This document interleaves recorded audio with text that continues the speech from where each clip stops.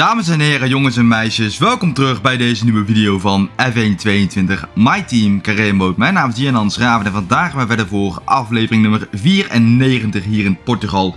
Ronde nummer 14 van het kampioenschap, nog twee rondes te gaan en dan zit My Team Carré Mode erop. Maar heb je die vorige video gemist, zou ik die eerst even terugkijken voordat je deze dus gaat zien. Dat was in Mexico, was een dominant optreden van mezelf en Jensen Button. Werden daar eerst en tweede en pakten de volledige score als team. Hopen dat dit race, dat deze race dus weer lukt. Ja, nog niet geabonneerd op mijn gamekanaal. Gewoon even doen. Abonneer vooral voor meer wekelijkse F122 My Team Career content. Gaan richting de 200 abonnees. Dus nog niet geabonneerd, gewoon even doen. Laten we dat doel zo snel mogelijk zien te behalen. En ja, volg me even op de sociale media. Mijn gebruikersnamen staan in de beschrijving. Het Giran Schraven op Instagram, Twitter en Facebook. Beide titels al binnengehaald. En nu is het gewoon hopen dat Jensen Button die tweede plek kan veroveren. Het zou mooi zijn als dat gaat gebeuren. En nu is het lekker tijd voor de kwalificatie. Want ja, er komen niet zoveel updates aan. De kalender is gewoon gevuld. Daar is het raceweekend. Op naar Portugal voor de kwalificatie natuurlijk. Dan zijn we aanbeland bij Q1. Lekker zonnig weer. Er is wel regen voorspeld voor in de kwalificatie. Tijdens de race ook, maar dan helemaal op het einde. Dus ik weet niet of de regen dan ons gaat raken.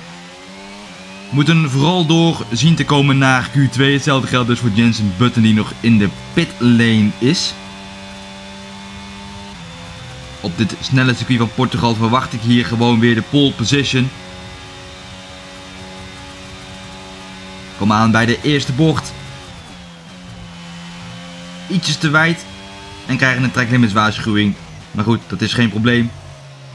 Blijf maar bij één waarschuwing gelukkig en geen tijdstraf of een afpakkingsstraf, zoiets. Goed. P6 inmiddels daar de apex wat gemist bij de 1 na laatste bocht. En komen aan bij deze lange doordraaier naar rechts de binnenkant gewoon pakken. Om zo min mogelijk tijd te verliezen. En wij laten een 1.18.5.6.6 noteren met groen in sector 1, 2 en 3. Zijn we aanbeland bij Q2. En dan is het hier gaan regenen op het circuit. Intermediates eronder gezet. Laten mensen voorbij.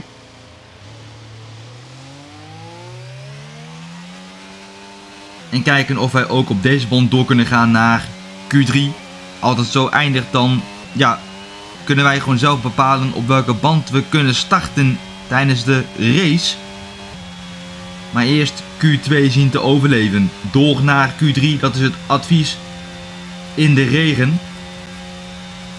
Weet ik niet of het harder is gaan regenen dat we de full wets moeten gaan gebruiken. Nu nog op de intermediates. En Charles Leclerc noteert een 1.31.5.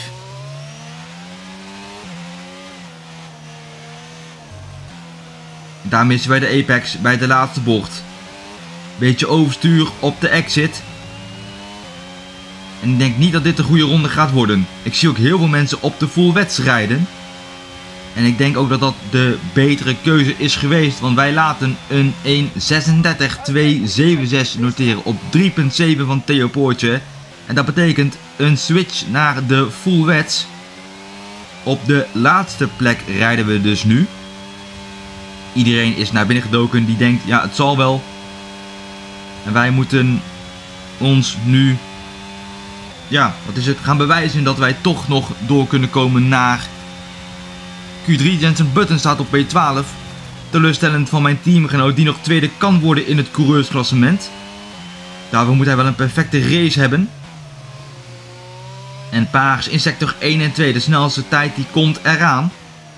Ik weet ook niet of nog mensen naar buiten gaan. Of die zichzelf kunnen gaan verbeteren. Wij in ieder geval wel op ruim 5,5 seconden van onze eigen tijd. Nauwelijks ERS gebruikt en wij laten een 1.30.337 noteren. De snelste tijd in Q2. Jazeker, goed gedaan. Dan zijn we aanbeland bij Q3. En dan is Jensen Button niet door. Die start gewoon volgens mij als 16e. Dus die heeft een hele opgave om door te kunnen komen naar de punten. Hij strijdt nog voor P2 met Charles Leclerc in het wereldkampioenschap. Dus dat wordt nog close met die twee als het zo zou gaan eindigen. De regen is inmiddels wat aan het verdwijnen. De baan is nog alleen maar nat en die moet zo snel mogelijk worden droog gereden door de intermediates.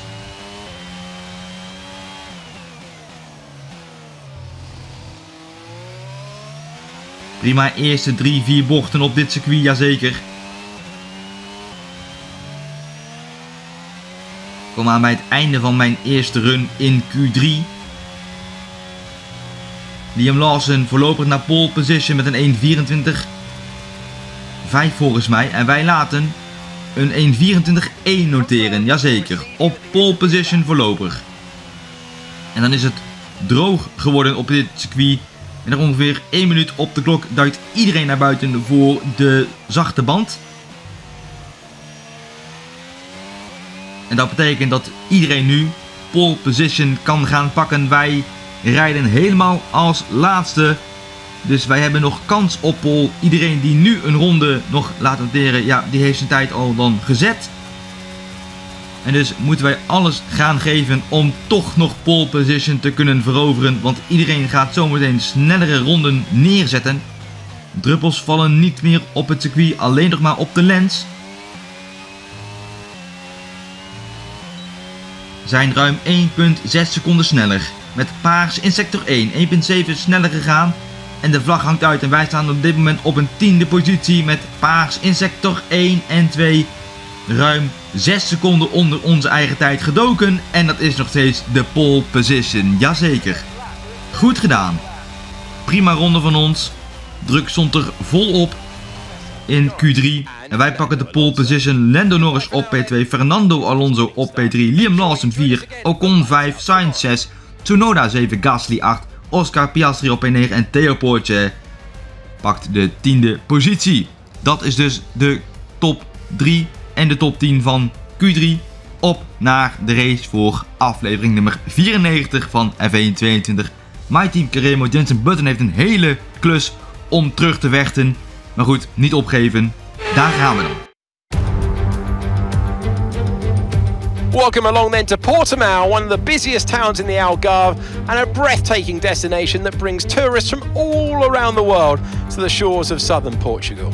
Today it's the backdrop for the latest round of the Formula One World Championship and with a circuit this wide we could be in for a lot of exciting wheel-to-wheel action today. So Portimao features 15 turns over the course of its 2.9 mile length, 9 are right-handers while 6 are to the left. This is a track with a lot of uphill action which only accentuates the importance of getting those exits right, especially at turn 4 where a good line can present opportunities to pass on the way into turn 5.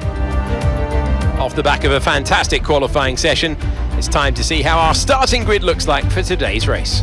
The Professor lines up on pole position, and Lando Norris lines up alongside. Looking down the rest of the grid, we have Fernando Alonso, Liam Lawson, Esteban Ocon, and Sainz, Sonoda, Gasly, Oscar Piastri, and Teo Porcher, Leclerc, Drugovic, George Russell, and Mick Schumacher.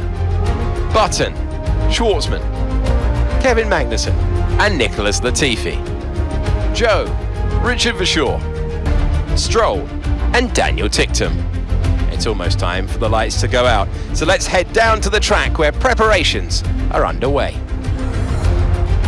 Natalie Pinkham joins me once again in the commentary box. It's fantastic to have you with us today. I'm curious though, how do you think the drivers stop those pre-race nerves from becoming overwhelming when you're lining up on the grid? Well, I imagine they'll be starting to feel the adrenaline as they anticipate the rundown into turn one, a bit like preparing to go into battle. The unknown situation will bring nerves, but that's a good thing. It'll keep them focused on the moment and on their surroundings as we build towards the start of the Grand Prix.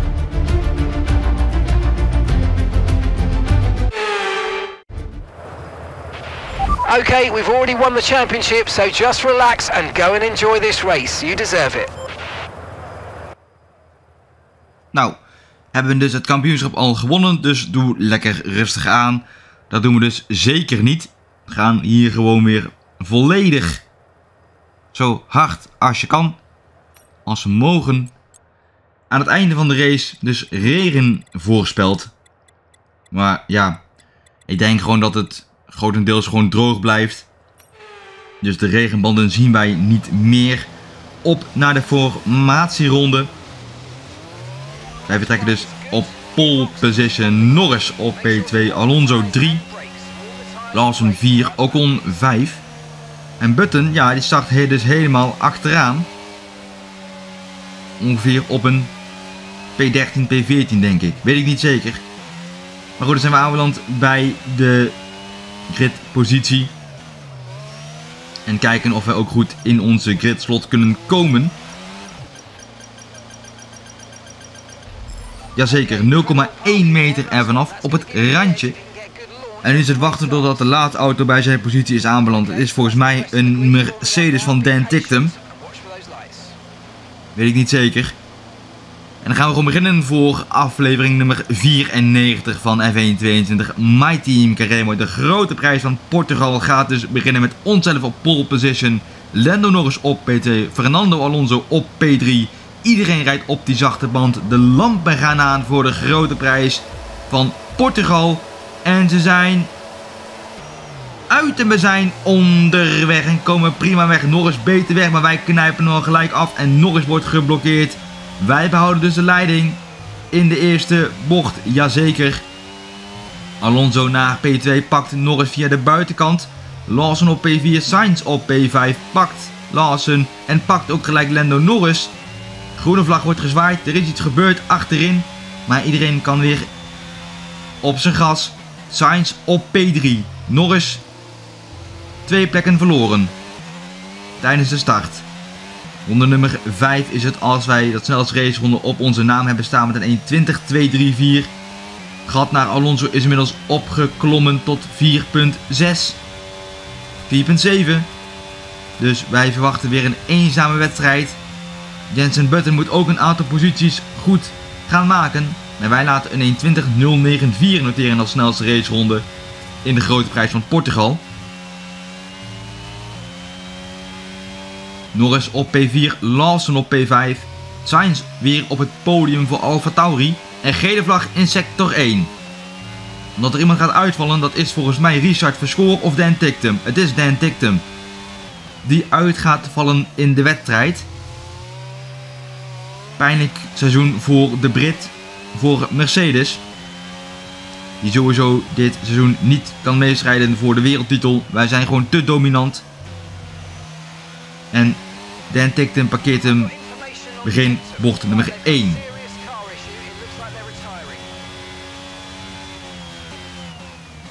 Ingenieur kwam met nuttige informatie. Oftewel niet zo veel nutters. Want ja, we wisten al dat hij ging uitvallen. Dus waarom zou je dat nog zeggen? Groen in sector 1, paars in sector 2. Ronde nummer 13 is het alweer als de zachte band wel zijn tijd heeft gehad. En wij gaan naar binnen voor onze laatste pitstop van de dag. Gaan naar de mediumband. 20 rondes lang, dat lukt vast wel op deze mediums. Pakken daar een track limits waarschuwing door iets te scherp in te sturen. En wij duiken dus naar binnen voor onze laatste geplande pitstop van de dag. Lawson op P2, Tsunoda op P3, omdat Alonso een pitstop heeft gemaakt. Button rijdt op P5, maar moet nog naar binnen.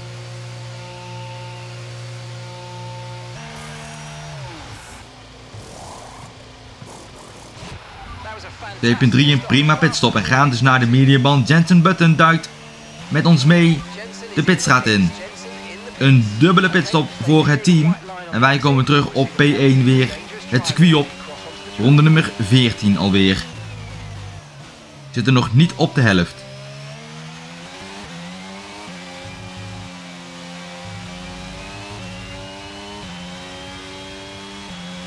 Zal pas in ronde nummer 17 zitten als we op de helft zijn. Zit inmiddels in ronde nummer 24 als het gat naar Alonso is opgelopen tot 18.8. En geel in sector 1.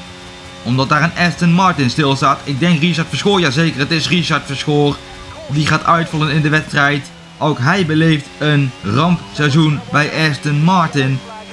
Hij kan sowieso niet meestrijden voor podiums. Heeft maar één podiumplek veroverd in zijn carrière. En dat was tijdens de openingsrace van seizoen 3. Toen hij daar onverwacht op P2 reed. Voor ons. Hij was degene die onze eerste podiumplek bezorgde in onze My Team Carré Mode. En in ronde nummer 31 is het alweer als het gaat naar Alonso is opgelopen tot ruim 30 seconden. En wij duiken naar binnen voor de zachte band. De bewolking is inmiddels toegenomen op het circuit. Maar goed, er is geen regen voorspeld. Ja, er is wel regen voorspeld, maar niet tijdens de wedstrijd. Pas na de race gaat het regenen, dus komen er goed mee weg. En duiken dus naar binnen. Waarheid Jensen Button die zit klem achter een Red Bull. Volgens mij van Lando Norris.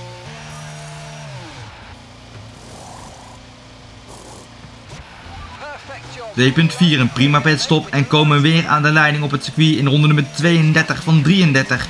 See these tires Nog één ronde te gaan en dan zit de race er alweer op. En wij gaan proberen de snelste raceronde te verbeteren. Om zo definitief 26 punten te scoren in plaats van 25 punten. Een puntje meer dus. En dan zitten we in de laatste ronde van de race als wij even paars in sector 1 en 2 noteren. De snelste raceronde komt onze kant op. Met dat extra punt behalen wij weer een overwinning in My Team Carré Mode. Alweer een dominant optreden. Goed gedaan. Jammer van Button. Die komt tekort. Maar goed, hij pakt wel punten voor het team. Goeie race. Goed gedaan. Is het op naar de volgende wedstrijd. Awesome. Just amazing, mate. Well done.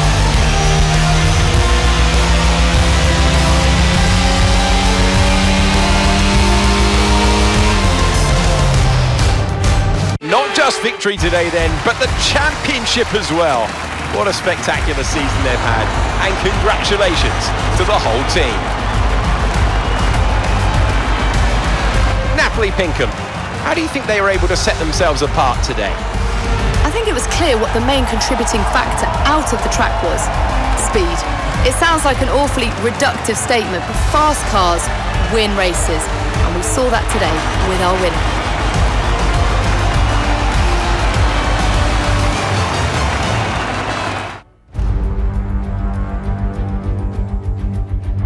Here comes your top three, making their way down to the podium for what can only be described as a fantastic day for Formula One.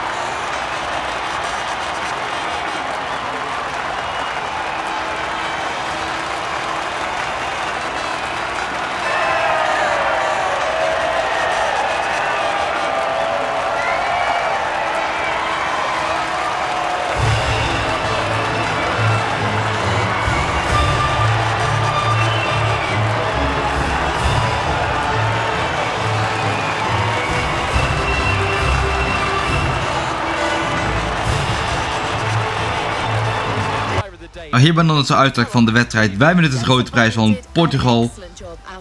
Met als laatste ratingpunt goed gedaan. Alonso naar P2, Lawson op het podium, Tsunoda 4, Sainz 5, Ocon 6, Gasly 7, Leclerc 8, Button naar P9, goed gedaan. Van P15 naar P9 doet goed, Drogovic pakt het laatste punt voor Alpine. Twee uitvallers, Tiktum en Richard Verschoor. En ja, Button naar P3, maar zien twee rijders dichter naderen. En Leclerc loopt wat weg. Dus hopelijk dat Button nog de laatste resterende races alles kan gaan geven voor die tweede positie. Het zou mooi zijn voor het team. Maar goed, wij zijn dus kampioen geworden. Het team is al constructeurskampioen. Plus 5 voor mij, plus 2 voor Norris. Maakt 21 tegenover 6. Met nog 3 races te gaan. Team Acclaim is level 28, wij zijn level 22, Button is level 16. Doet gewoon goed mee, vind ik. Heeft ook een prima inhaalrace gereden deze wedstrijd. Alle sponsoren binnengehaald, 1,87 miljoen dollar erbij. En Button heeft helaas 10k laten liggen, 90k erbij. In totaal op de bank is het 27,21 miljoen dollar.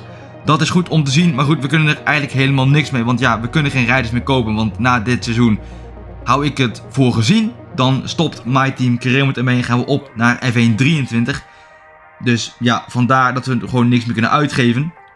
Sponsor renewal moeten we even gaan doen. Maar goed, dat zien we de volgende video wel. Ik ga deze aflevering in ieder geval afronden mensen. Ik hoop dat je genoten van deze grote prijs. Heb je genoten, beloon dan zeker met een like. Heb je niet genoten, dislike de aflevering dan. En vertel me ook waarom jij niet leuk vond. Ben je op mijn gamekanaal? Abonneer je voor meer wekelijkse F1 22 My Team Creator content elke zaterdag en zondag om 1 uur een video. Dus schakel ook gelijk dat belletje aan, zodat je geen enkele race meer van mist. En volg me even op de sociale media. Mijn gebruikersnaam zijn in de beschrijving. Het Gianan Schraven op Instagram, Twitter en Facebook. Dit was Gianan mensen. Tot de volgende keer bij een nieuwe video op mijn kanaal. Ga verder met meer Formule 1 content. Tot de volgende keer.